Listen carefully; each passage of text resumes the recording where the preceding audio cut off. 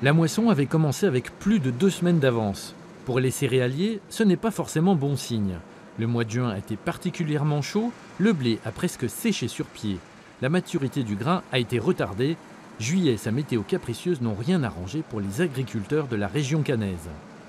Aujourd'hui, qu'est-ce que ça change euh, C'est-à-dire que le blé n'a pas fini de se remplir comme il faut, donc je pense que c'est l'impact euh, euh, qu'on a eu aujourd'hui, les, les- les rendements qui sont un peu plus faibles. Et l'an dernier, on a eu trop de pluie, cette année, on a eu trop de chaleur trop pré- précocement, tout simplement. Les agriculteurs ne sont jamais contents. C'est bien vrai Pour cet agriculteur d'Ambly, au nord-ouest de Caen, le rendement est d'environ 8,5 tonnes de blé par hectare, un des meilleurs de France. Mais cela reste une année moyenne pour le Calvados. Les bonnes récoltes avoisinent souvent 10 tonnes par hectare.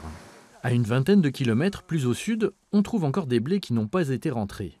Chaque champ a des particularités qui, en plus de la météo, vont influer sur la moisson. On gère des risques. Si on va trop vite, c'est le risque de récolter trop vite, donc d'avoir une culture qui ne va pas se conserver. Si on va trop tard, on va baisser la qualité. Et puis des fois, bah, on, on a nos moyens en fille en face, on ne peut pas tout faire de- en une journée, donc on est obligé de, euh, vraiment de, de faire au mieux, on va dire. Quoi. La qualité du blé dépend beaucoup de la pluie. Tant que le blé est en croissance, l'impact reste minime. Une fois à maturité, les végétaux risquent de se gorger d'eau et des maladies peuvent se développer. Maintenant, avec les, pi- les- les épisodes pluvieux qu'on a appris ces derniers jours, on a une maturité qui s'est faite avec la pluie, donc toutes les, toutes les céréales sont mûres. Si le temps sec arrive à se maintenir, les moissons vont pouvoir se terminer. Mais il faudra sur le ciel, comme sur les blés, veiller au grain.